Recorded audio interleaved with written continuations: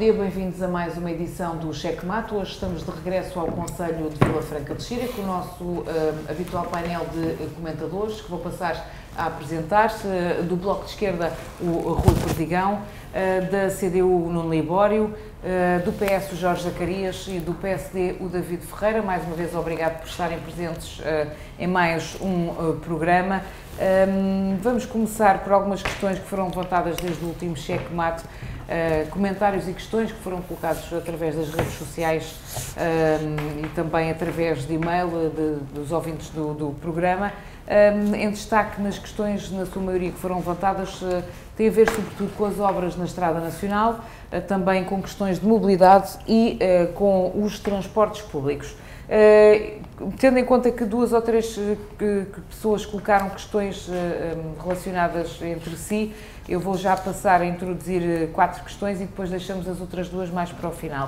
Uh, a Dina Reis reclama que aos fins de semana e feriados os utentes de Via Longa não têm transporte público para, para Alverca e para Louras. Via Longa é pior do que viver numa aldeia, uma vergonha para a época em que estamos. São precisos mais transportes na freguesia de Via Longa. O Miguel Almeida diz que os comboios estão sobrelotados. Na Póvoa de Santaria queremos mais e melhores comboios e uma rede de bicicletas partilhadas que podiam minimizar o problema. Quanto ao lixo, o que tenho visto é tão mau que nem comento. Uh, depois também João Pedro Lourenço diz que o trânsito entre a Póvoa e Santaria uh, e a freguesia de Santaria da Azóia sempre houve, uh, questão que se deve única e exclusivamente ao excesso de automóveis, tem de haver mais e melhor transporte público. Depois, eu se calhar vou deixar para depois uma questão muito específica que colocaram, que tem a ver com São João dos Montes, eh, mas para já, eh, e vou começar eh, aqui pelo, pelo Rui, relativamente a estas questões que, no fundo, vão entroncar muito nos transportes públicos, que devem ter mais transportes públicos, melhores transportes públicos, e ainda esta questão que está relacionada com também com, com, com o trânsito na Estrada Nacional 10, Rui.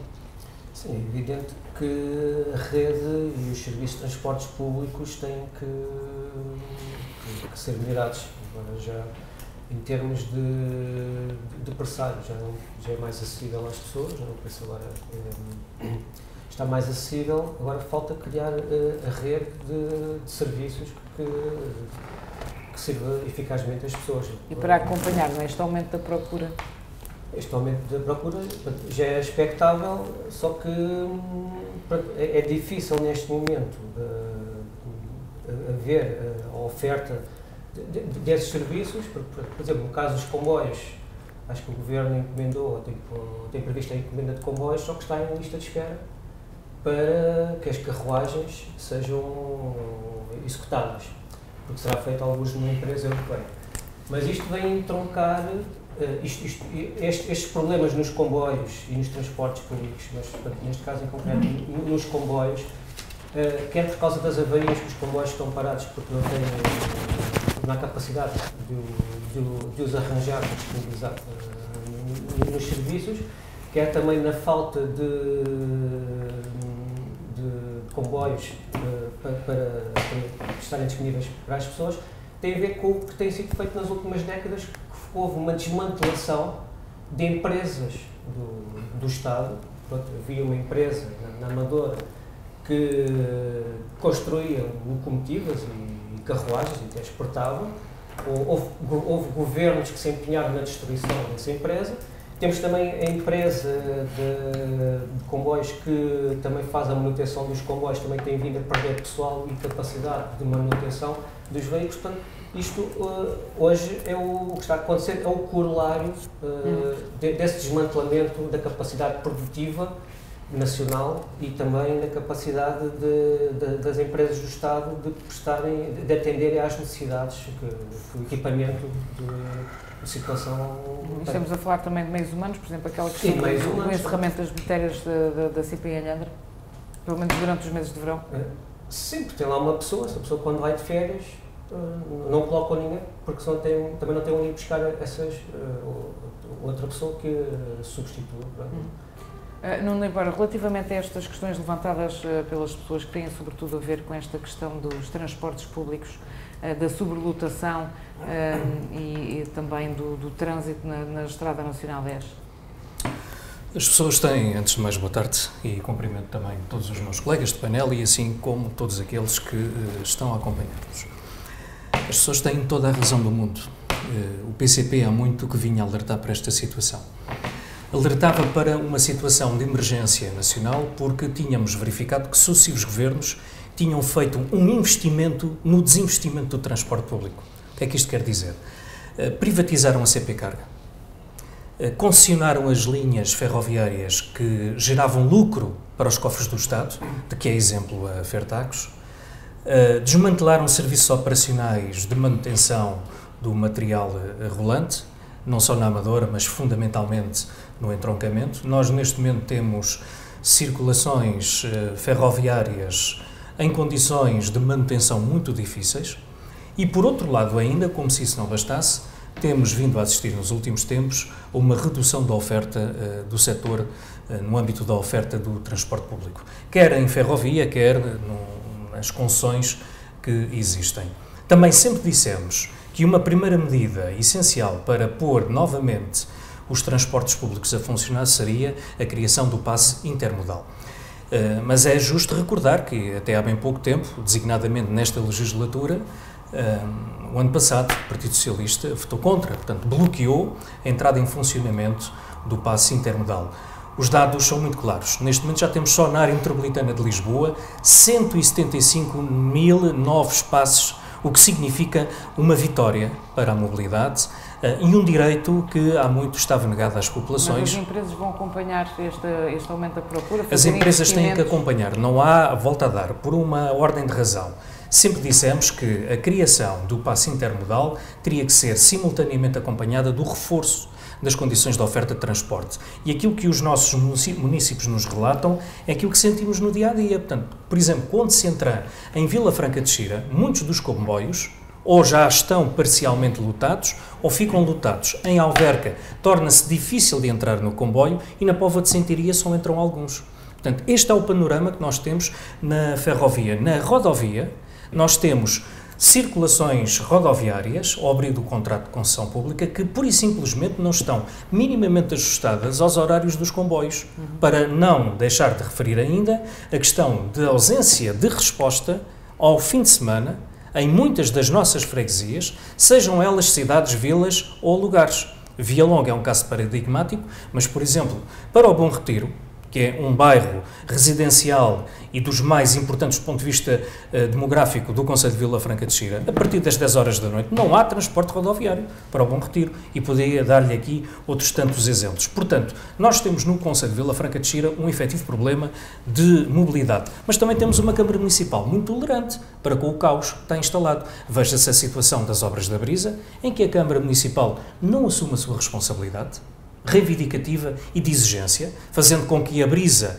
e a sua ambição de negócio prevaleça sobre o interesse das pessoas. É uma Câmara Municipal que eh, reage após o acontecimento uh, fatal, como foi o caso das bilheteiras de, de Alhandra, uma vez mais. Parece que não estávamos à espera que isto pudesse acontecer.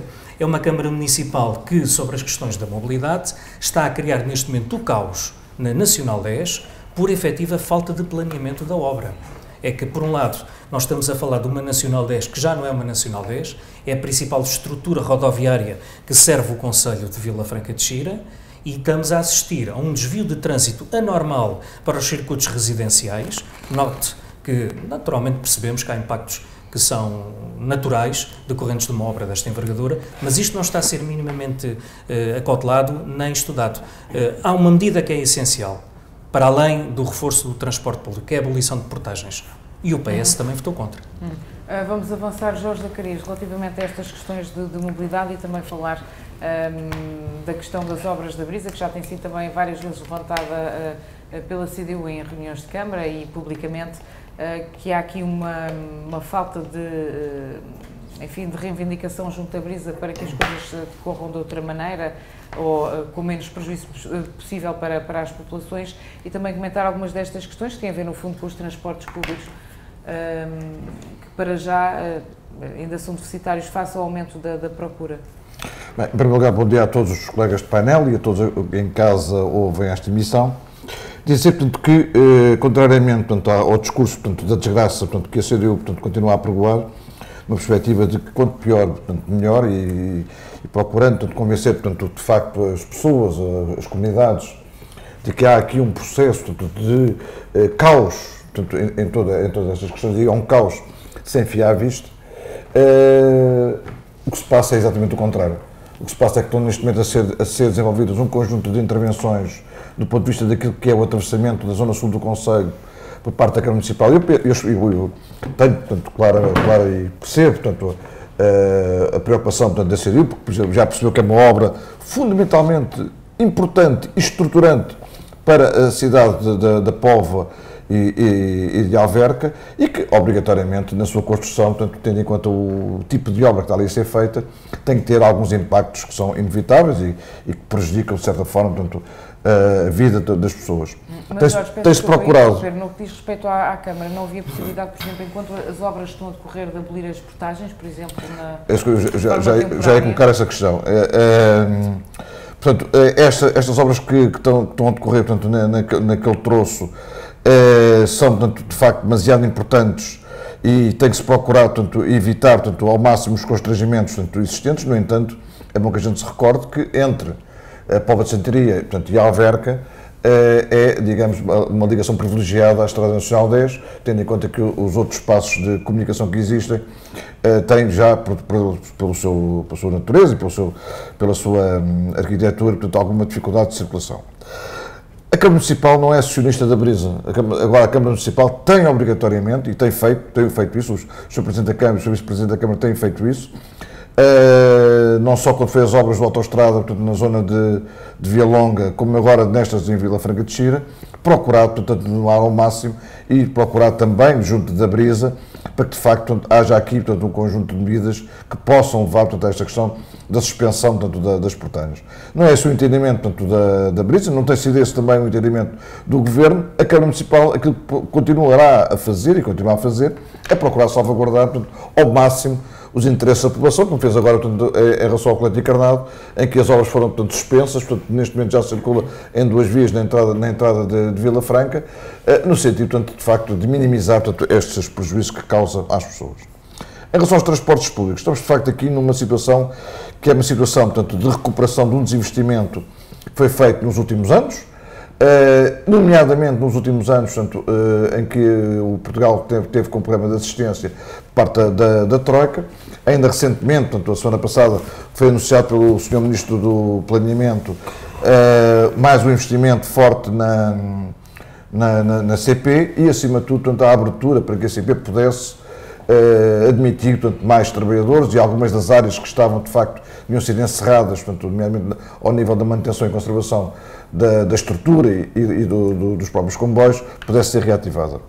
Nós estamos aqui, de facto, numa, numa situação que não é possível, de um momento para o outro, uh, resolver, porque uh, fazer portanto, um, um comboio uh, demora um conjunto de anos uhum. e este tipo de fornecimento portanto, complica, de facto, o, o dar resposta ao momento em que estamos a atravessar. Que tem a ver também com esta questão que foi, portanto, a redução do valor do, dos, praços, dos passes, eh, tanto do, do, metropolitano como do, do navegante, portanto, em termos do, de utilização do, do, próprio Conselho, o que levou, como, como o Nuno Libório já, já referiu, levou ao, ao aumento da, da, frequência portanto, por parte dos transportes públicos. Nós esperamos, portanto, está a ser preparado neste momento um concurso para, eh, nomeadamente ao nível da rodoviária, da, dos transportes rodoviários portanto, públicos, possam, portanto, encontrar, portanto, um outro tipo de carreiras em sítios, em zonas que necessitam, de facto, portanto, de um, um outro tipo de resposta transportes públicos. Esperamos, portanto, que este concurso que vai ser uh, dinamizado, digamos assim, pela AML, possa, de facto, corresponder às necessidades das pessoas. Vamos avançar, David, relativamente a estas questões de transportes públicos e da mobilidade eh, no Conselho. Antes de mais, cumprimentar as pessoas que nos ouvem lá em casa. Muito bom dia a todos e aqui os meus colegas de painel. Gostava de aproveitar esta minha primeira intervenção para, para antes de falar sobre o sistema da mobilidade, fazer duas ressalvas. A primeira é congratular a União Desportiva Vila Franquense pela subida uhum. à, à segunda divisão uh, e, à, e, neste caso, ao primeiro escalão do futebol profissional uh, em Portugal, ou seja, o primeiro nível de entrada de escola profissional em Portugal. É um feito para a cidade de Vila Franca e para os vilafranquenses aquilo que o vilafranquense conseguiu, futebol alçado, isso depois teremos a oportunidade de discutir. E depois congratular também o Nuno pela sua indicação como sexto elemento no Círculo Eleitoral de Lisboa pelo, pelo, pela CDU para as eleições legislativas de outubro. Um, acho que, salvo as devidas distâncias ideológicas que separam as pessoas das outras, eh, é bom reconhecer que, que as pessoas que estão no nosso Conselho e que, e que têm trazido tanto ao movimento político do Conselho também são reconhecidas no Distrito e, portanto, deixar-lhe aqui este, esta palavra e desejar-lhe, dentro do possível, um, a melhor sorte para, para outubro. Depois, em relação à mobilidade, um, aqui, fico contente que estejamos a falar disto, porque, na verdade, eh, já venho a falar dos transportes públicos e da mobilidade desde que o programa começou e do problema que, que há, em, que há no, no Conselho de Vila Franca. Uh, à Dina, ao Miguel e ao João Pedro, uh, agradecer-lhes terem participado no, na, neste programa e, darem, e, colocarem as, as, suas dúvidas ou questões ou anseios e dizer-lhes duas coisas. Primeiro, que a questão do, do, passe, do passe intermodal dos navegantes, o que queiramos chamar, é na realidade uma grande medida de, de ajuda às populações, mas aparece uh, como um oásis no meio de um deserto. O que é que isto significa? Que não há uma real política de mobilidade na generalidade dos conselhos que estão uh, ligados ao passo intermodal. O que é que isto significa? Que nós, à boa maneira portuguesa, uh, colocamos pessoas e dinheiro em cima dos problemas. Às vezes, não é só isso que resolve o problema. Eh, às vezes o problema é o que é que nós pensamos para a mobilidade dentro do Conselho de Vila Franca de Xira. O que é que nós pensamos em relação ao problema das pessoas que não se conseguem movimentar ao fim de semana de Longa para a Póvoa de Sandaria ou para a Alverca. E essa discussão é a discussão que deve acontecer. Porque se é à, custa de mais uh, carreiras, de mais frequência de comboios, de mais composições nos comboios já existentes, isso são respostas que nós damos a jusante desta discussão que tem que acontecer no início, que é o que é que nós queremos para a mobilidade no Conselho de Vila Franca de Xira e nos outros. É autocarros? É comboios? Tu ver essa discussão não está feita ou não foi feita da melhor forma? Eu acho que essa discussão, e mais uma vez aqui sem fugir à responsabilidade, e o PSD não o deve fazer, essa discussão, se foi feita, foi mal feita. Eu acho que ela não existiu desta maneira. Uh, e portanto é normal que quando nós aumentamos uma, um indicador ou uma externalidade que, que afeta a procura das pessoas por um determinado passe de, de transporte público, se nós não temos soluções para dar às pessoas, seja por quantidade, seja por qualidade, os transportes rebentem. Era, era normal que isto, que isto acontecesse. Uh, aliás, eu fui das pessoas que defendeu, dentro do próprio PSD, de que nós não podíamos defender os navegantes em termos de uma política de mobilidade, defender uma política de mobilidade concertada para tudo. Veja-se, há, há conselhos onde isso acontece. Uh, não é por ser um, um, um, conselho gerido pelo PSD, mas Cascais é um exemplo de mobilidade bem gerida. Uh, tem... Só... transporte próprio, não é gratuito em, alguns, em, alguns, em, algumas, em algumas áreas. Agora, uh, aqui, a questão, aqui a questão de que as pessoas se queixam é, uh, o que é como é que eu consigo andar de um lado para o outro. Dizíamos a, a, a, em relação ao tema da habitação, dizíamos em relação ao tema da habitação jovem, dizíamos em relação ao tema da, da, da Estrada Nacional 10. O problema está como é que as pessoas se mexem, vão trabalhar dentro do Conselho de Vila Franca de Xira. Nós não temos uma resposta para dar. Nenhum de nós tem uma resposta para dar. E essa discussão é a discussão que deve acontecer. As pessoas têm razão. E nós temos que ter a capacidade e a coragem de dizer qual é que é o plano de mobilidade que temos. Não temos. Mais uma vez, a questão dos elétricos, por exemplo, de certeza que virá essa discussão, e eu aproveito para me adiantar. Atirar elétricos para cima do problema não resolve. Porquê? Porque elétricos nós continu continuamos a congestionar as vias. É uma questão de, de, de, de solidariedade ecológica, mas a questão está, está qual é que é a rede que queremos entre a ligação dos comboios e autocarros, uns sítios para os outros? Ainda sobre esta questão, Nuno. Não, o PSD uh, eh, acabou por dizer tudo, até me facilitou a vida. O PSD não está de acordo com a existência do passo intermodal. Esta é que é a questão de fundo. Aliás, aquele que é o seu atual líder, não sei se por muito mais tempo, mas isso é um problema interno do PSD, não, não me cabe a mim comentar, nem tão pouco estou preocupado com isso, mas o PSD já veio dizer que uh, vai mexer nisto e já deu a entender que se o PSD, eventualmente a direita, voltasse ao poder, acabava com o passo social. É bom que as pessoas tenham consciência disto. E isto é uma vitória das populações. E não podemos voltar a andar para trás. Queremos é andar para, andar para a frente. Porque, eh, ao contrário do que aqui foi dito, ao nível da área metropolitana de Lisboa, está a ser feito um mapeamento muito rigoroso, muito prático e muito objetivo por parte das câmaras municipais. É evidente que há umas que envolvem mais as populações do que outras. Por exemplo, não foi à toa, no caso de Vila Franca de Xira, a CDU, inclusivamente já solicitou ao nosso Presidente de Câmara, ao Partido Socialista, que desenvolvesse conosco um amplo debate e reflexão sobre as necessidades de transporte que assistem no modo rodoviário e ferroviário no Conselho de Vila Franca de Xira, porque o caderno de encargos que tem que estar preparado e aprovado para ser lançado através de concurso público internacional até ao final do mês de dezembro, tem que privilegiar todas as efetivas necessidades de transportes públicos, sejam para esta ou para qualquer outra empresa, seja ela pública ou privada. E esse trabalho está a ser feito. Quando o PS fala aqui do caos, eu creio que não devemos estar a falar do mesmo Conselho. Eu ando na Nacional 10, provavelmente, com o devido respeito aqui, o meu colega Jorge Zacarias deve ser daqueles que anda muito na autoestrada. Porque se andasse na Estrada Nacional 10, encontrava as filas de trânsito que eu encontro e que milhares de utilizadores da Nacional 10 encontram. Porque isto são opções. Porque quem diz que não tem capacidade financeira para financiar o sistema público de transportes foi o mesmo partido que aprovou, neste Orçamento de Estado, 2.150 milhões de euros para injetar no novo banco. É o mesmo partido que não quis renegociar os contratos com as parcerias público-privadas, que só na área metropolitana de Lisboa custam 1.300 mil milhões de euros. Isto são opções políticas. Esta é que é a visão do caos. É quando há condições políticas, nomeadamente uma correlação à esquerda, na Assembleia da República, para fazermos avanços, temos o PS a puxar para trás e, em alguns momentos, a pender para a direita, vamos no sentido de obter aqui dividendos. Vamos ter de avançar muito rapidamente, David, para... Oh, oh, oh Marta, eu, eu às vezes acho que ou sou eu que não falo, que não falo português ou então faz-se-me entender mal, porque não foi nada disso que eu disse. Não, eu, ninguém aqui me ouviu dizer que o PS não defendia o passo intermodal. Se o Nuno ouviu, mas o PSD eu, defende isso. Eu, o PSD defende isso. Não, não é isso que o PSD defende. Mas, mas responda a verdade. O PSD, não, é?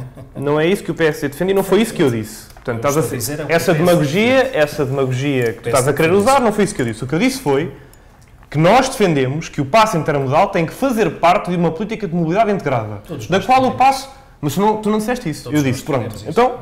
Como não foi isso que tu disseste, e é isso que eu estou a dizer. Mas eu acrescento: o PSD defende o fim do passo intermodal, eu, os termos eu, como ele hoje existe. Eu, Esta afirmação é rigorosa. Eu agradeço que, então, se é rigorosa, que digas de onde é que ela veio e quem é que não, a disse. O vosso responsável. Não, eu agradeço que digas quando e em que momento é que disse. Porque dizer isso que neste, neste um fórum. Dizer, dizer isto neste fórum. Um isso tem uma razão de ser, não, isso é demagogia. E cidad... Não, isto foi o que disse o PSD. Em que contexto? Em vários contextos não foi nada... oh. informativos, em que criava uma situação de portugueses de primeira, portugueses de segunda, esquecendo e ignorando os problemas que de, de acessibilidade ou de mobilidade não são iguais em todas as áreas metropolitanas ou zonas territoriais do país. Portanto, este é o discurso do PSD. Pronto, e daqui, do momento em que, do momento em que nós passamos de Há fa de fases diferentes de acesso ao passe que cria português de primeira e de segunda. Há diferentes tipos de acesso ao passe intermodal. O Nuno Libório expurgou que o PSD não defende o passe intermodal. É isto. Pronto, então. Bom, ficam também, uh, para terminar, Rui, muito rapidamente, já estão uh, definidas as tem propostas para a mobilidade do Conselho. Não é, não. Apresentou-as, inclusivamente, na, nas eleições. Nós chegámos até a fazer, uh, há um ou dois anos, fizemos, organizámos um debate, trouxemos um especialista em mobilidade para falar sobre, uhum. sobre, sobre o assunto. Portanto, nós uh, temos de facto as nossas, uh, o nosso programa para, para a mobilidade. E já falámos noutra ocasião, tivemos aqui a oportunidade de apresentar algumas dessas ideias. Claro. Agora, houve, uh, isto também, muitas vezes, quando o, as, os trabalhadores destas, das empresas de transportes fazem greve, fazem e focando não, não apenas, muitas vezes fazem pelo, para, para melhorar as suas condições de trabalho, mas outras vezes fizeram para denunciar estas situações que estão agora a ocorrer. Desmantelamento da capacidade de Sim, manutenção de, pronto, exatamente, tudo, tudo isso aconteceu e depois muitas vezes o que acontece é que uh, certos partidos preferem atacar os sindicatos e, e incutem nas pessoas a ideia de que as pessoas fazem greve porque querem benefícios para eles. Isto, tudo isto foi, tudo isto foi, foi uh, anunciado e, e previsto e denunciado pelos trabalhadores.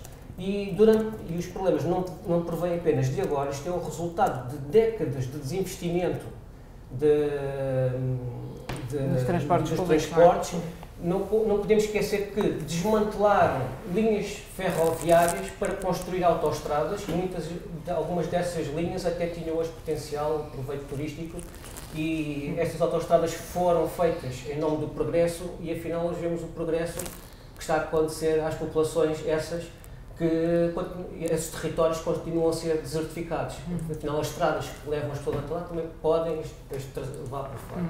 Bom, vamos avançar. Eu pedi que estas duas próximas questões uh, são questões muito específicas, que não se demorasse muito tempo nelas, uhum. mas uma vez que foram colocadas pelas pessoas, vou abordá-las. E depois a última, penso que, que demorará um pouco mais de tempo. Uh, mas para já vou introduzir estas duas. O Joaquim Lopes de Oliveira pediu para alertar Uh, e fica aqui este alerta para mato nos passeios e sinalização em falta na Quinta da Ponte em São João dos Montes. Ainda sobre a Quinta da Ponte, o Celestino Abreu fala sobre o semáforo nas obras. Ele enviou uma fotografia, mas eu não percebi bem qual é uh, a questão em específico. Depois, já falámos sobre isso aqui várias vezes, portanto, peço também que não se percam muita discussão em torno disto. Uh, também os moradores do Forte da Casa reclamam da obra das ciclovias por causa de, de, de alguns problemas que foram levantados na Póvoa, menos lugares de estacionamento, também demolição de árvores, nomeadamente o Felipe Almeida e o Sr. Manuel, que já não me recordo o segundo nome dele. Uh, pedia, uh, vou começar pelo David, que comentassem estas duas questões. não sei se se, se calhar faz sentido começar pelo Jorge, pelo menos sobre esta questão da Quinta da Ponte. Eh, não sei se o David sabe um, do que é que se trata, se todos sabem do que é que se trata. E depois, relativamente a esta questão do Forte da Casa das Ciclovias, não sei se querem também fazer algum comentário. Se calhar vou começar pelo Jorge, é, sobre esta questão do, da Quinta da Ponte. Bem, em relação à, Quinta da Ponte, os matos no, nos passeios portanto, é, é uma, uma matéria que está descentralizada para as juntas de freguesia Uh, e, portanto, cabe às juntas de freguesia, portanto, a limpeza portanto, do, dos passeios. No concreto, não conheço portanto, a questão para poder responder portanto, de forma mais... Do, do semáforo? Do semáforo, não, não, sinceramente, não... Na Quinta da Ponte. Estava, estava a tentar perceber se havia ali alguma obra. Eu penso que estarão lá obras a decorrer. Nuno, tu sabes já alguma informação relativamente a este local uh, São João dos Montes? Não tenho. É, o que está... Vamos lá ver aqui uma coisa. Isto não é assim tão líquido como o Jorge está a dizer relativamente à manutenção e conservação dos passeios. Esta área em concreto, como muitas, eh, também são objeto de manutenção por parte da Câmara Municipal. E dou exemplo. Não, os passeios são das juntas freguesias, não vale a pena estarmos aqui, não, aqui agora. A, a, a, a, divergir em relação a esta questão. Não, Jorge. Deixa-me só terminar. Então, era, em relação à questão do semáforo das obras, não, sinceramente não, não consigo localizar, não estou a ver obras aí naquela zona. Portanto, Falta de sinalização não estou ali a ver obras ali naquela zona. Portanto, em relação à, à questão da, da, limpeza, portanto, a Câmara Municipal, uh, e, desde a, e mais ainda, desde há dois anos, desde a, da, não, no ano passado, portanto, este é o segundo ano, em que foi portanto, tomadas as medidas portanto, em relação à limpeza portanto, das zonas portanto, uh, de floresta e, e por causa da, da questão do, dos incêndios, tomou um conjunto de medidas que, que levou a que tornasse ainda mais eficaz a limpeza portanto, dos espaços portanto, eh, não, não, não ocupados. Uh, e, tem, e tem estado a fazer, portanto, duas formas, ou notificando portanto, os proprietários para o fazer e depois agindo compulsivamente, ou mesmo portanto, uh, no, nos seus espaços, portanto, procurando portanto, fazer e, e, manter portanto, uh, eles isentos de matos. Em relação aos passeios, em relação à via pública, é de facto, cabe às juntas freguesias, portanto, a limpeza de, do, do, dos passeios e das vias públicas é algo que está, está tudo no. Uh, Jorge, muito rapidamente, uh, ponto de situação das obras uh, das ciclovias no Forte da Casa. O Forte da Casa, portanto, a obra está a decorrer, aquela obra que corre na Estrada Nacional, já foi referida, nomeadamente em relação à questão das árvores, já foi dito por diversas vezes pelo Presidente da Câmara, de que as árvores que foram agora, portanto, até algumas delas por razões de segurança, da, da, da, segurança rodoviária, irão ser substituídas pelo dobro das árvores que estavam lá colocadas, portanto não há aqui o perigo portanto, de ficarmos com uma estrada nacional. É, relativamente ao estacionamento, alguns lugares efetivamente vão ficar abolidos, não é? é eventualmente não. O estacionamento que há na freguesia de, do Forte da Casa, como é que. Que não, não, é que não, não, não, não, não conhecem por menor portanto, o projeto e, e que número de lugares é que estamos a, a, falar, portanto, que vão ser abolidos, ou se, por outro lado, vão ser só deslocados e deixa de haver estacionamento de um lado e passa a haver estacionamento do outro. Não conheço o projeto em concreto para poder estar aqui. Uh, podemos avançar ou alguém quer fazer, Nuno, relativamente a esta matéria, algum comentário? Eu queria. Uh, tentei só ajudar, a reação não foi melhor, mas também percebi que, sem querer, condicionei aqui a intervenção do Jorge. Não é verdade o que ele diz. uh, efetivamente existem nas áreas urbanas de género ilegal, como sucede com a Quinta do Ponte, com a Quinta da Ponte, dou, dou o exemplo da, da Auge e da Fonte Santa, em que a responsabilidade passou para a Câmara Municipal. Da limpeza dos matos? Da limpeza, não, da, da conservação, da dos, passeios, passeios, que inclui bermas uh, e, e, limpeza de matos, não é? que depois, não havendo a limpeza necessária, tendem a transformar-se em matos nos passeios. Na Quinta da Ponte, em particular, nós temos um problema complicadíssimo, portanto, este nosso ouvinte tem toda a razão, porque não só há dificuldades de limpeza, mas fundamentalmente há falta de conservação dos, hum, dos passeios. Uhum. Isto tem a ver com o facto de ser uma área de gênese ilegal e com o facto de a sua urbanização não estar ainda concluída, o que também dificulta uh, a melhor manutenção de todo este espaço. Por outro lado, ainda, ao contrário do que aqui é dito, as juntas de freguesia, não obstante a renegociação, incluindo financeira, dos acordos de execução e contratos interadministrativos que aconteceu em 2018, continuam a padecer de falta de meios, quer técnicos, quer humanos, para fazer cabo a estas responsabilidades, muitas delas que a Câmara Municipal lava, de, lava desresponsabiliza-se do ponto de vista da sua, da sua competência direta. No Forte da Casa e em Alverca, este abate de. Isto é absolutamente uh, difícil de aceitar, o que está a acontecer. Uhum. Posso dizer-lhe que uh, acompanhamos, a CDU acompanha este sentimento de frustração e de indignação, porque, independentemente de se ter a consciência que terá que haver uh, modificação da estrutura urbana para se instalar uma ciclovia, muito provavelmente não se esgotaram todas as soluções e há uma delas que não sequer se iniciou, que foi o envolvimento da população. O Partido Socialista, tal como tenta fazer todas as vezes que é confrontado pela oposição sobre medidas eventuais que poderiam ser alternativas no Conselho, tem a mesma postura relativamente às populações. Eles sabem tudo e os outros nunca sabem nada. Hum, e este caso concreto é o caso paradigmático da falta de envolvimento da população. Hum. Uh... Tentar ser muito breve. Pronto, relativamente a esta questão das ciclovias, no, em, todo o Conselho, não é apenas no Forte da Casa. Pronto, quer dizer, não houve nenhuma participação da população? Foi, nem, nem a nós, os eleitos, nós não, tínhamos, nós não conhecíamos o projeto. Portanto, nós não, a postura da Câmara ou do Partido Socialista no Conselho é, não quer pôr em causa, acha que o facto de estar a, a, dialogar com as pessoas põe em causa o poder representativo. Nós entendemos que não é necessário estar a falar de todos, de todos os casos com a população. Mas nos casos mais estruturantes e mais relevantes e que influenciam mais a vida das pessoas, como é este o caso, podia ter-se uh, submetido o, a proposta a uma consulta pública, previamente, para as pessoas uh, poderem se pronunciar e, ter, e, e, dar, e, dar, a sua opinião e o seu contributo até para melhorar a solução proposta e, e evitar estes, estas situações. Uh, podia haver um referendo, o PSD acho defendeu também na Assembleia Municipal um referendo por causa do hospital e esta questão, podia ter um referendo também, a ciclovias? Não, não, não, necessariamente, mas não tem que haver, um, acho que não tem que haver uma, uma solução, uma visão paternalista. Nós é que sabemos o que é bom para vocês e vocês uhum. uh, não, não, sabem, não sabem o que é bom para Bom, nós. vamos avançar, Jorge. Eu, eu, eu tenho só de dizer duas coisas, e, é, é, bem da verdade. Até é bem, da verdade. Os passeios na Quinta da Ponte são da Junta Freguesia de Vivenda, São João dos Montes e Calhando disto. O, o Nuno Libora está mal, mal informado, também não veio mal ao, ao, mundo por isso. Mas eu não falei desse em particular. Estou, estou a falar da Quinta da Ponte, estamos a falar da Fonte, da Fonte Santa, que são de Vila. É uma única das juntas, é, é partilhada também, em alguns casos, como é o caso da Fonte Santa. Foi o que, foi o que disseste, é, é que era da Câmara Municipal, é da das juntas de freguesia, não há nenhuma dúvida em relação a esta questão. Em relação a esta questão da discussão pública, essa é uma questão um bocado complexa.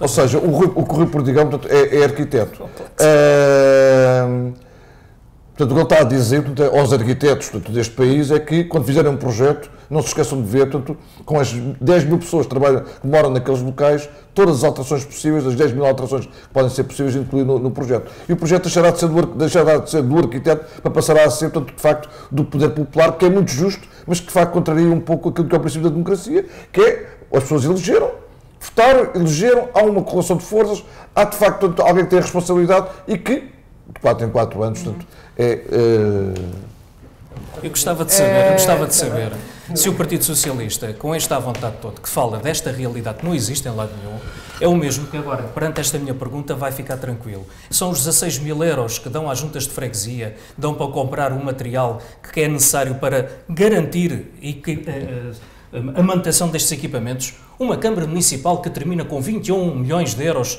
de saldo de conta gerência, distribui 16 mil euros às juntas de freguesia. É este o compromisso que o Partido Socialista tem com as juntas de freguesia. É evidente que há problemas. Não é verdade. É evidente... não, é, não, é, verdade. Não é verdade. Não é verdade. Os acordos de execução e os contratos interministeriais foram aprovados por consenso entre, todo, entre, entre, todos os é órgãos. É a, a, CDU, a CDU podia ter votado contra e a Junta de Freguesia ah, podia não, podia, a CDU não, não vota contra porque é então- responsável, mas o Partido Socialista não, tem uma gestão absolutamente Vamos voltar aqui responsável sobre esta matéria. Quer chuva do Naval, 21 milhões e dá 16 mil euros às juntas. Chuva do Naval e sol na era. Vamos, vamos abordar aqui outra questão. 21 que, milhões uh, e 16 mil euros. É uma grande diferença, não é? Recebi dois e-mails. Uh, não, foi, não é 16 milhões. Recebi dois e-mails, não vinham assinados não vinham assinados, mas eu vou colocar a questão na mesma, uh, que perguntam o porquê das vivendas da Solvay terem sido demolidas e se, se, era, se, se, legalmente era possível esta solução. Vou começar pelo Sim, Rui. pergunta ao PS. Uh, eu, se quer comentar... por princípio, não, não respondo a qualquer tipo de questão anónima. Acho que as pessoas, eu, as pessoas devem assumir e dar o rosto. Aqui ninguém faz mal a ninguém, ninguém percebe ninguém. Eu quando, antes de estar na política, quando, quando participava civicamente, sempre dei a cara pelas coisas. E acho que assim é que deve ser. Portanto, as pessoas não têm nada que temer e, por conseguinte, eu não respondo a questões anónimas, uhum. princípio. Ok, de qualquer das formas... Apesar, apesar de eu considerar que a questão é claro. é pertinente, mas não... De qualquer das formas, eu já tinha, tenho, claro. portanto, tenho tudo impresso e também aqui já me pediram uh, estas questões, as pessoas têm tudo, portanto, se algum dia também quiserem consultar eu não ponho em causa tanto. Sim, sim, mas fica também aqui se quiserem consultar. Essa é a minha uh, opinião. Quem, claro. quem coloca as questões deve, uhum. deve ter um rosto, um, uhum. identificar-se, pelo menos. De qualquer das formas, e, e como este assunto também esteve em, cima da, da, reunião, de, que esteve em cima da mesa em reunião de Câmara e eu já agora. Até porque, eu, apesar, até porque eu fui uma das pessoas porque pugnou para que as vivendas uh, permanecessem e fui uma das pessoas um dos proponentes de, para a classificação de, de, das, das, vivendas, vivendas. Uhum. sabendo que elas não tinham potencial para ser classificadas de momento ou de interesse nacional, mas teriam potencial para serem classificadas de, de monumento municipal, de, uhum. de, interesse municipal. Deixa que há consideração, não, eh, se alguém, se, de qualquer das formas, se optam por, por falar sobre o assunto ou se também acham que não deve ser respondida. Uh, Naturalmente, que é naturalmente que isto está a gerar uma forte indignação, mais do que legítima. Isto é tudo muito parecido com aquele processo de urbanização da Vila Rio, na Pova de Santaria, portanto, ali a poucos metros desta área, em que agora, só agora é que as pessoas finalmente começam, eh, e pelas piores razões, a perceber o que é que será o impacto de 600 fogos a construir numa zona de leite cheia, ameaçada pelas cheias, quando a CDU votou contra o Partido Socialista, dizia este, esta força política vota tudo contra, está sempre contra, é contra o desenvolvimento. Pois claro que estamos contra este tipo de desenvolvimento, somos contra a betonização de áreas sensíveis. Nós estamos contra este processo. Na altura alertámos a Câmara Municipal, no âmbito do processo de discussão pública, que isto ao invés de poder resultar numa efetiva operação de revitalização e de regeneração com contributos positivos para o núcleo antigo da Pova de Santiria, poderia significar exatamente o contrário, o oposto. Fomos acusados de tudo e mais alguma coisa. De termos uma visão urbanística do século passado, de sermos contra a iniciativa privada, de estarmos contra a abertura de investimentos naquela zona. E o que nós dissemos foi: não, calma lá. Aquela zona é provavelmente uma das últimas zonas a lutear e a urbanizar no contexto da, da Pova de Sentiria, precisa de ser olhada com a devida atenção. Temos muitas dúvidas que haja necessidades de habitação, aliás, temos certezas, não há necessidades de habitação na freguesia e naquele local em particular que justifique a criação de três novos lotes, conjunto de cerca de 70 novos fogos, e que se haveria que dar primazia numa eventual proposta uh, a aprovar seria de revitalização e de reabilitação de todas aquelas áreas. Repare nisto, a ganância é tão grande de quem quer fazer a todo e qualquer preço aquele empreendimento de condomínio fechado, que nem tão pouco os critérios de cedência para equipamentos e zonas coletivas foram uh, tidos em conta. Ou seja, a Câmara Municipal, o Partido Socialista e o PSD autorizaram que pudesse ser a Câmara Municipal compensada em espécime. E, portanto, neste momento iremos ter, e temos aprovada, uma operação de demolição e de, e de, e de nova construção, não cumprindo os critérios e as orientações do Plano Diretor Municipal, no caso as áreas de cedência diz respeito, a troco de botão. Portanto, é disto vamos, que se trata. Vamos ter que Isto é avançar mais, mais lamentável. rapidamente, David, relativamente a esta matéria das, das vivendas da Solvay, não, não sei se um, o PSD tem alguma posição definida, se debruçou também sobre este assunto. Um, oh Marta, eu, eu podia uh, estar aqui com um conjunto. Eu, eu, por, eu, por defeito, também concordo, tendo a concordar com o Rui. Uh, acho que aqui, quando, quando falamos destes temas, uh, também para nós podermos saber, ou podermos dar uma resposta mais pessoal a cada uma das pessoas que nos faz chegar questões, e eu tenho às vezes um bocadinho de dúvidas de, da real origem de algumas destas perguntas. Okay. mas ainda assim, um, e, e, para não fugir à pergunta, o, o, PSD, tal como tem feito na reunião, nas Assembleias Municipais, tem uma opinião definida em relação à questão da Solvay, votou, aliás, de acordo com aquilo que acha que é a melhor opção. Eu só tenho aqui uma, um, uma ressalva a fazer ao tema, aqui uma intervenção que o Nuno faz. Nuno diz não há real necessidade para novas urbanizações na Póvoa de Santiria. Não é verdade. No Conselho todo de Vila Franca de Xira há, e sérias, carências de, de habitações. Portanto, é falso que não haja necessidade de, de, novas habitações. Podemos, se retirarmos a demagogia deste, deste tema, dizer que não havia necessidade que fossem ali. Essa é outra discussão. Dizer que não há necessidade de novas habitações não é verdade. E, portanto, só nesta questão de repor a verdade, hum. há efetivamente uma carência, porque a procura também tem, tem aumentado no Conselho de Vila Franca de Xira, até mais nas, nas nas freguesias limítrofes de Lisboa, na zona sul do Conselho. Há efetivamente uma carência habitacional nessas duas zonas uh, e, portanto, é normal que, que haja uma procura maior por novos espaços para se poder urbanizar. A discussão se deve ou não deve ser ali é uma discussão que, que é. E deve é, ou não ser ali? A vir do PSD? Eu acho que é uma das opções viáveis para ter uma urbanização, sim. Se deve ou não respeitar uh, uh, ali um determinado tipo de, de, de, diretrizes para não ferir de morte a zona ribeirinha uh, e efetivamente a zona de, de, onde estavam as vivendas da Solvay. Sim, mas é uma, uma zona de excelência para se poder ter mais uma zona habitacional. Vamos, vamos avançar, Jorge. Queria só, sim, uh, começámos a falar nas vivendas da Solvay, pouco se falou ou nada das vivendas da Solvay, porque de facto uh, muito pouco há a falar sobre as vivendas da Solvay e sobre as medidas que estão tomadas em relação às vivendas da Solvay. Em relação à legalidade ou não, vamos aguardar. Portanto, o vereador do Bloco de Esquerda uh, afirmou na última reunião que tinha feito queixa ao Ministério Público, portanto, em relação a esta situação. Vamos aguardar portanto, se de facto há aqui alguma ilegalidade cometida ou não. Mas o que é, um, o que é portanto, um dado concreto é que as vivendas só estão, digamos, abandonadas há muitos anos e só agora portanto, descobriram as vivendas da Solveig quando aparece um projeto que pode requalificar toda aquela zona. Hum.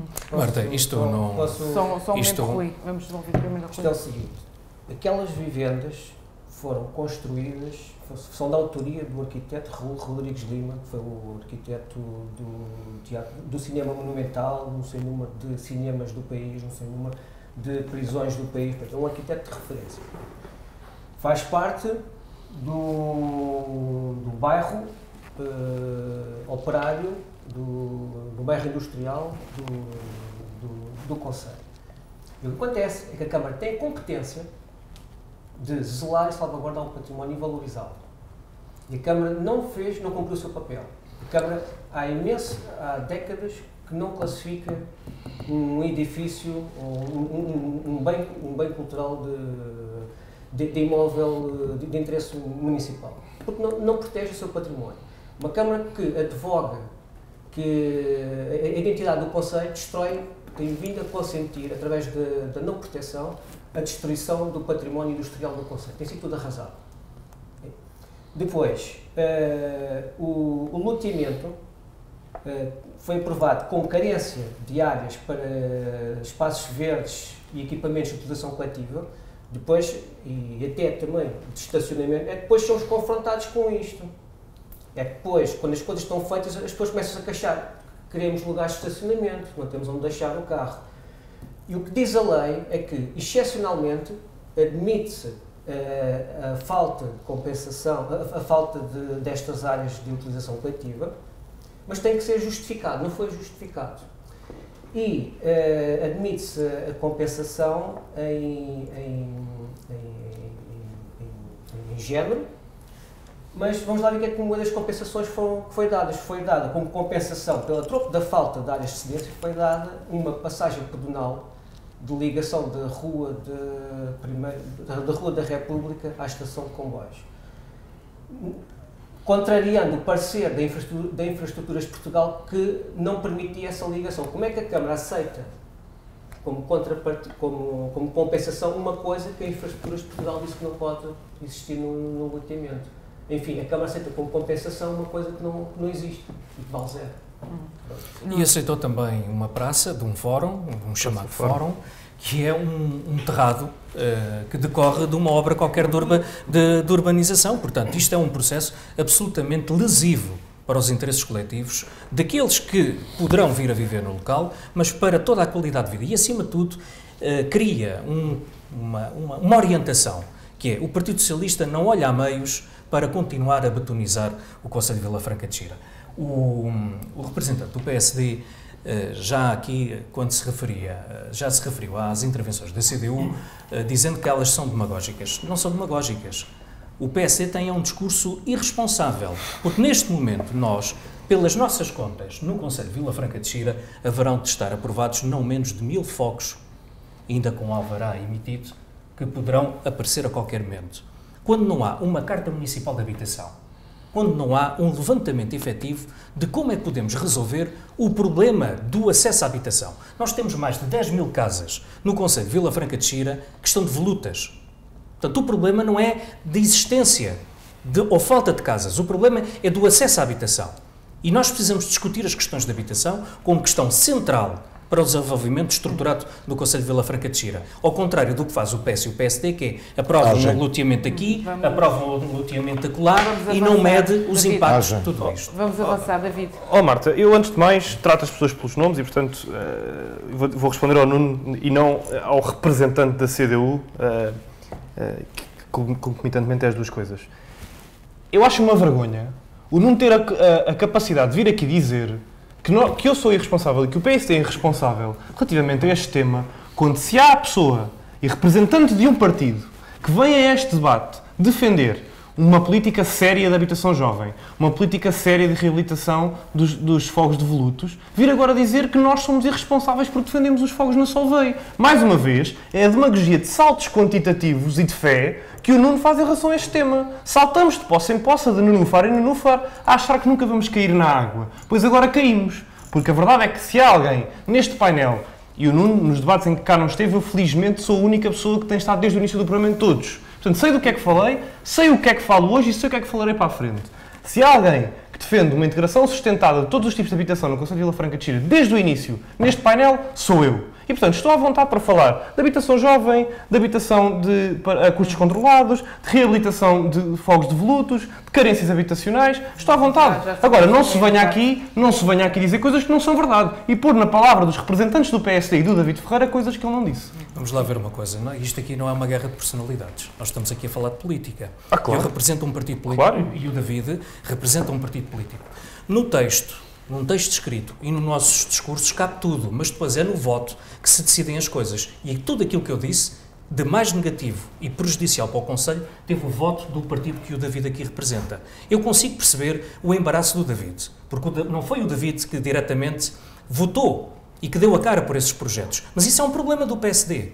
E é um problema do Conselho de Vila Franca de Xira, porque tem que haver coerência e consequência. Não podemos estar aqui num debate a dizer que somos a favor de uma coisa qualquer e depois, quando chega o momento da votação, faz-me lembrar o Partido Socialista na Assembleia da República. Votou contra a abolição de portagens e depois víamos-lo aqui em Vila Franca de Xira a dizer que esse é outro PS. Isto faz agora parecer essa história. Aqui só há um PSD. Isto incomoda Há um PSD em Vila Franca de Xira e há um PSD aqui neste debate. Oh, Marta, eu pedi às e pessoas... não tem nada a ver com a personalidade. Oh, oh, oh Marta, claro eu pedi às pessoas que estivessem a ver, eventualmente, este programa no YouTube que andassem 40 segundos para trás.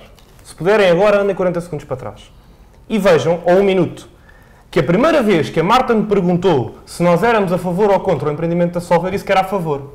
Portanto, sou coerente com aquilo que acabei de dizer. Andem para trás. Andem para trás no tempo, aqui tem uma bolinha para arrastar, andem para trás e vejam o que é que eu disse.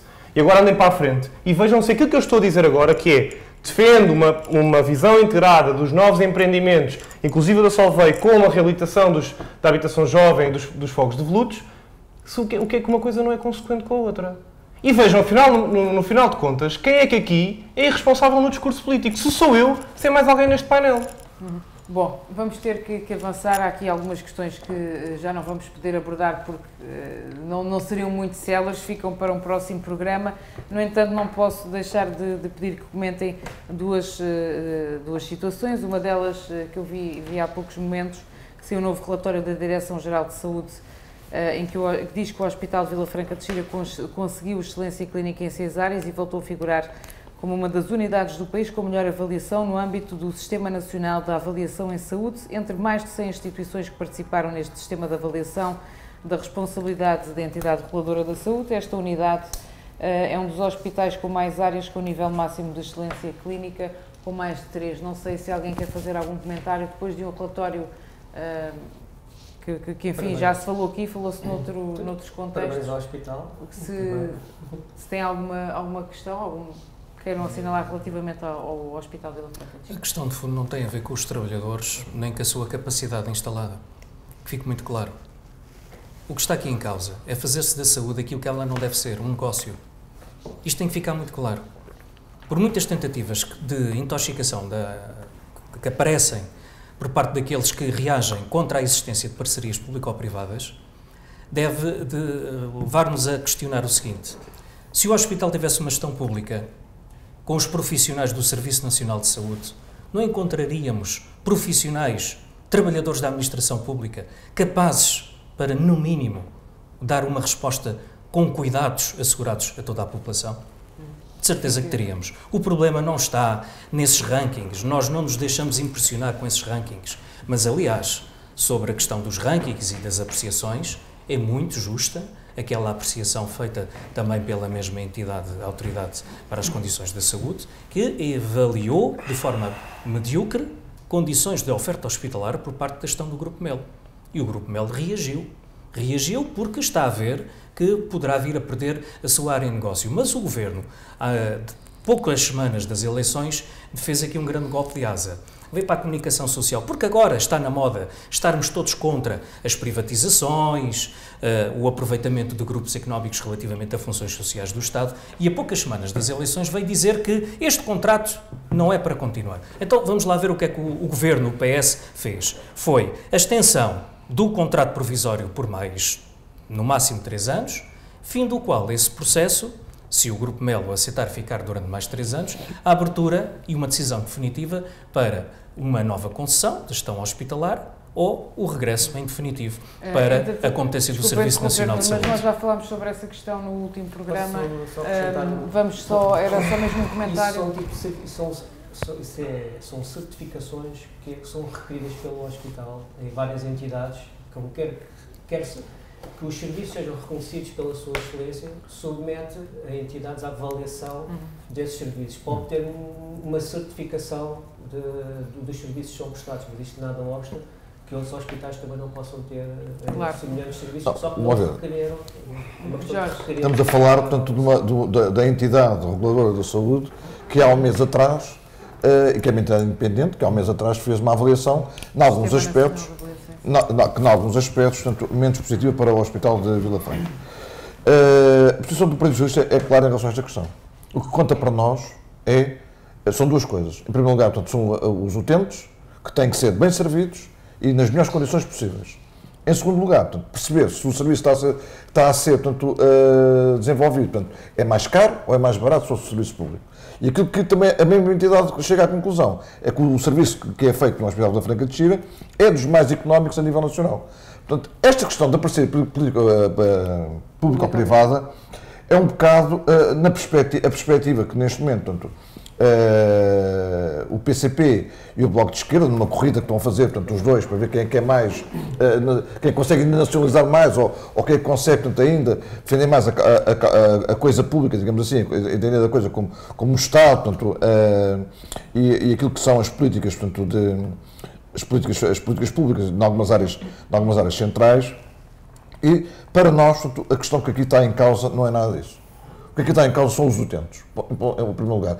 E, em segundo lugar, a questão portanto, da gestão portanto, e do equilíbrio dessa gestão, que é fundamental que seja feito e que a análise seja feita sempre em, em torno destas duas situações. David, não sei se, se também queres comentar, por favor. Sim, uh, eu aqui o irresponsável representante do PSD gostava de dizer que, que não podemos, não podemos ter, olhar para a DGS de uma maneira quando ela emite, e eu até estou à vontade porque neste mesmo fórum fui dos que mais atacou ferozmente a organização de algumas questões do hospital, e depois, quando vem o relatório da DGS, que noutra área uh, atribui um, um, nível de excelência ao hospital, nós dizemos que a DGS afinal não interessa para nada.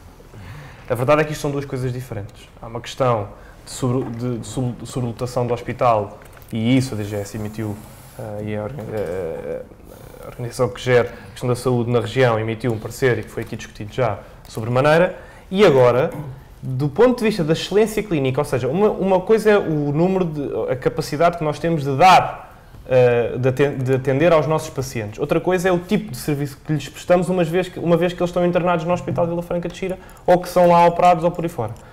E as duas coisas são diferentes. Se não há uma excelência da organização logística do serviço, ter os, os, os doentes internados, é uma coisa.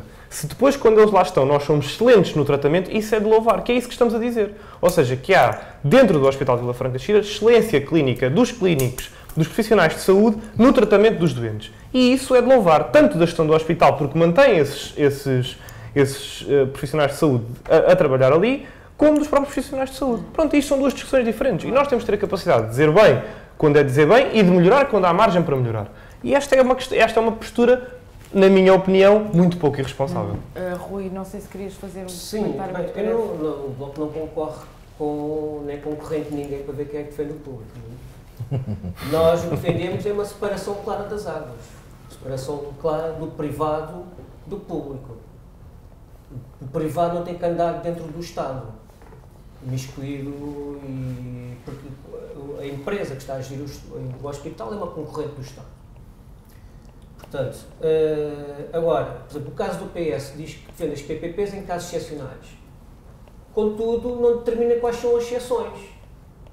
Poderia dizer assim, nós aceitamos nestas circunstâncias excepcionais. Quais são os casos excepcionais? Quero deixar de uma maneira lata e indeterminada para consentir todos, tudo pode ser exceção e sem limite. Portanto, agora, uh, é evidente uh, que, uh, apesar de não estar demonstrado que é mais económico, porque, não, porque certamente não, não será, e eu vou demonstrar só a receita, não sei se demonstrei aqui na última, no, na última sessão, que só a potencial receita do parque de estacionamento dá para construir dois hospitais. Portanto, e vamos a ver outra coisa, que é, por exemplo, o meu pai esteve há pouco tempo, foi há pouco tempo operado, poucas semanas, mandaram-lhe comprar umas meias fora do hospital por 19 ou 20 euros, ou 20 e tal, uma coisa assim. Que nos hospitais públicos são dadas aos doentes, aos pacientes. Não vai ter que comprar fora. Porquê? Isto aqui tem a ver com o lucro da empresa gestora do hospital. Porque os, por paciente existe um, uma receita, é pago uma Sim, um X, um X por cabeça e aquilo tem um pacote de consumíveis. Portanto, quando mandam os doentes comprar os consumíveis fora, eles arrecadam o, a diferença. Portanto, tudo isto, há aqui muita coisa envolvida no meio. Hum, fica aqui também essa Não, deixa-me só, só 10 segundos só para repor aqui o tema em relação a isto, porque felizmente ou infelizmente trabalho diretamente com, com, com, questões, com, com questões da gestão hospitalar e, portanto, eh, não é verdade isto. Ou seja, o que pode acontecer é que efetivamente o hospital entrou em ruptura porque é definido nos guias de tratamento hospitalar o que é que é dispensado pelos, pelo, pelo hospital aos doentes, seja por via, seja em hospitais públicos, seja em hospitais geridos por PPP, ou seja, é definido centralmente quais são os consumíveis e medicamentos, seja via hospitalar, seja em ambulatório, aos doentes em cada momento do tempo, e se não acontecer, se não houver dentro do hospital os consumíveis suficientes para dar ao doente, o doente tem que procurar fora.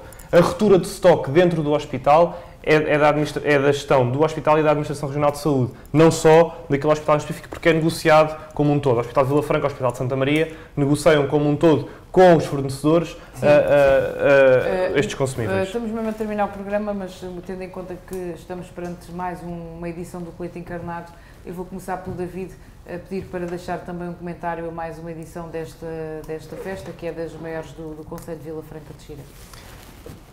Eu é engraçado estarmos aqui mais um ano e mais uma vez a fazer um comentário acerca disto. Um, e agora, agora apercebi-me que passa, passa, passa muito depressa. Um, eu, como, eu, como Vila Franquense, uh, nascido no antigo Hospital Vila Franca de Xira e criado em Vila Franca durante durante toda a vida. E o, uh, o tento do novo hospital. E o tento do novo hospital. É um, fico, fico muito, muito feliz que este fim de semana chegue. É, aliás, para quem é de Vila Franca, uma espera de, de 360 e tal dias que nós temos desde o, desde o domingo à noite, quando sai o fogo, até à quinta-feira à noite do ano seguinte, porque para os Vila Franquenses o Gluten Encarnado começa verdadeiramente na quinta-feira à noite. E, portanto, é um, é um momento especial para nós, é um momento especial para a terra, para, não só para a cidade de Vila Franca de Xira, mas para as freguesias adjacentes e, e, é um momento em que a cidade se, se veste de, de, de, cores de festa e que eu gosto particularmente de ver pessoas de fora a visitar a Vila Franca nesta altura do ano. Não só, mas também. E, e mais uma vez, deixo aqui o meu apelo, o meu pedido para que nos venham visitar. Um, é, fazendo parte também do movimento tertuliano, a verdade é que nós estamos sempre abertos a receber toda a gente e, e, a tentar receber bem. A partir de uma certa altura da noite começa a ficar difícil. Um, mas, a, mas, gostamos muito de receber e de que as pessoas se sintam bem. A verdade é que eu tenho muitos, muitos amigos, felizmente, que vão e quando vão a primeira vez querem voltar no ano seguinte. Uhum. E a minha casa, nesta altura do ano, deixa de ser uma casa para passar a ser uma residencial onde tenho toda a gente a dormir no chão porque quer estar no colete encarnado. E portanto, sim, pedir às, pedir, pedir às pessoas que venham, que queiram visitar, que queiram ver. A festa do colete encarnado é muito mais do que só a festa brava. É, também é, mas é muito mais do que isso. É uma festa de tradição, uma festa das pessoas da terra abrirem-se para o exterior e receberem toda a gente. E esperamos nós que receber bem e que nos venham visitar e ser muito felizes connosco neste que é o fim de semana de festa de Vila Franca. Jorge Zacarias, para além desta, desta união referida pelo, pelo David, este ano também há uma preocupação ambiental, não é? Relativamente ao colete por causa do, do lixo e do plástico. É verdade. Uh, mas acima de tudo eu gostaria de referenciar, portanto, que esta festa é a festa do campo e acima de tudo a festa do campino que é de facto o, digamos, o grande rei portanto, da, do colete encarnado e o, o colete encarnado nasceu nasceu portanto, para homenagear portanto, os campinos da, da Lesíria Ribatejana. Este ano, portanto, a, a Câmara Municipal portanto, deu um passo, vai dar um passo, portanto, ainda não é um passo definitivo, portanto, é uma, esta é uma festa com algumas características especiais que dificulta aqui que possamos eh, nos comprometer com a abolição completa do plástico, mas vimos ao encontro portanto, também das outras forças políticas que na Câmara Municipal, eh, quando isto foi discutido, estiveram portanto, de acordo na necessidade portanto, de criar portanto, um novo, novos modelos portanto, de, eh, de utilização, portanto, do, de redução, neste caso, do, do, plástico, que é fundamental. Mas é uma festa tudo com, com espetáculos, com muita tradição e faço minhas as palavras do do David venham a Vila Franca nestes três dias, porque de facto vai valer a pena. Nuno, relativamente a esta festa? Olha, nós uh, gostaríamos de homenagear os que constroem a festa. E neste momento, uh, os trabalhadores da Câmara, há largos dias, que estão, uh, sob condições difíceis, a montar a festa. E, portanto, a nossa primeira palavra é para os construtores da festa. Os trabalhadores da Câmara Municipal, dos serviços municipalizados, que arduamente estão a construir uh, pulso, uh, uma festa que depois é para servir toda a população e, fundamentalmente, também aqueles que nos visitam. Uma segunda palavra de reconhecimento para, para o movimento associativo e para as tertúlias, porque sem este movimento uh, espontâneo, organizado, mais ou menos organizado, de, de encontro, de amizades, de identidade, de tradição, o colete encarnado não seria nada. Não, é? não podemos reduzir o colete encarnado aos concertos, por mais interessantes que possam ser os grupos que têm vindo a, a estar connosco. Uh, e a terceira, a terceira nota é sobre o futuro do colete encarnado. Nós precisamos de olhar para o colete encarnado também com uma perspectiva de humildade para tentar perceber onde é que podemos melhorar e onde é que podemos inovar. Isto porquê? Porque sentimos que hum, esta é uma oportunidade para desenvolver, até do ponto de vista económico, o Conselho de Vila Franca de Xira. E nós achamos que a Câmara Municipal tem que enfrentar aqui uma certo tipo de discussão, indo ao terreno, e agora já estamos a escassos dias do evento, não vale a pena uh, uh, fazê-lo, porque não, não resultaria em coisa nenhuma, mas aquilo que me tem chegado por parte dos, das tertúlias, das pessoas ligadas à Festa Brava, dos vilafranquenses é que há necessidade de refletir e de repensar uh, um pouco o colete encarnado. Estamos todos unidos relativamente à necessidade do mesmo continuar a existir. mas achamos que há aqui uma margem de manobra para melhorar a festa uh, e, acima de tudo, que esta festa se constitua como uma das festas, não sendo a única, uma das festas da identidade do Conselho de Vila Franca de Xira. Há que valorizar aquilo que é nosso. Uh, Rui, relativamente ao colete, uma Bem, nota final. Faço um convite, compareçam todos. Vais lá estar de certeza, não é? O Bloco de Esquerda também vai estar Sim, presente. temos a nossa tertúlia, também convido para comparecerem lá.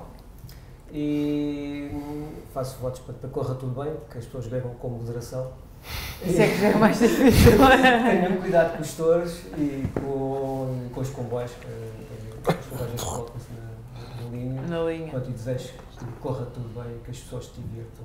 Que, eu gostava só de terminar eh, fazendo um apelo, pegando aqui na questão do plástico, para que também as, as tertúlias que fazem parte do movimento tertuliano tenham alguma atenção, porque a, a generalidade dos copos de plástico vêm, vêm das tertulias onde nós temos, recebemos claro. as pessoas e servimos os copos em copos de plástico Uh, nós, na minha introdução, estamos a fazer um esforço para que isso seja contido, se calhar já vou um bocadinho tarde, mas que tentem conter-se ao máximo, que tenham medidas para que as pessoas reutilizem os copos, para que não seja a mesma confusão todos os anos quando passamos às 6 da manhã na rua e são pirâmides de plástico amontoado. Uh, isso também parte muito do movimento estudiante de ter aqui alguma, algumas medidas que são fáceis de instituir, a passar pelo, eventualmente pelos preços das próprias cervejas, que podem variar consoante é um copo reutilizável ou não, e isso ajuda muito. Uhum.